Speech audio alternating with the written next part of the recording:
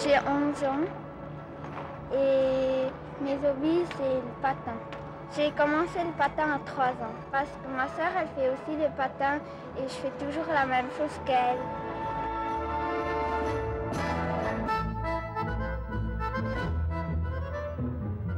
J'aime bien patiner sur la glace, faire des sauts et les pirouettes.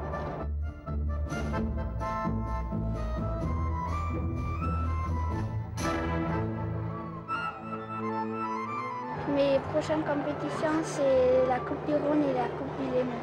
Cette année, j'aimerais faire les deux tests, les troisième, la troisième romande et la troisième suisse.